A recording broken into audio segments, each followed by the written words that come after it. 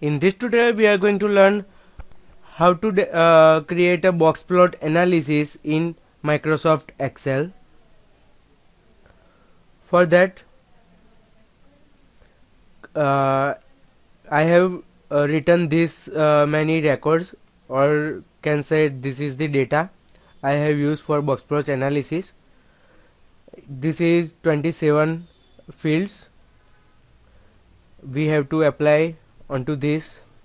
So after that for box plot analysis we have to find the q1 q2 and q3 as a quartile of the given range above. Let's set to q1 q2 q3 write equal to q. Here is the quartile select the array which we have used these records comma 1 because of we have to create a 1 quartile. I am going to explain you. Equal to q. Repeat the steps. Select all the array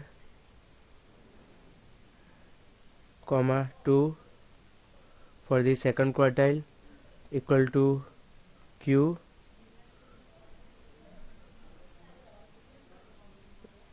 Equal to q.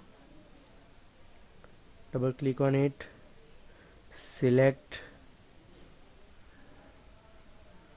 comma 3 braces over. See you are going to thinking where this data comes from and why we have to do this perform this so for that q1 that means we have to select these 27 fields of array. That means after that we have to find mean mean select the range max equal to max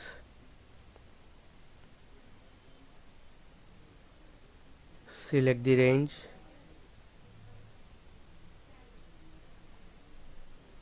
After that as I told you 25 50 and 75 these are q1 q2 and q3's values will go here. Equal to select this q1 press enter. Here equal to q2 minus q1 so here equal to q3 minus q2 which will be shown you this many values. After that we have to draw a chart based on these values.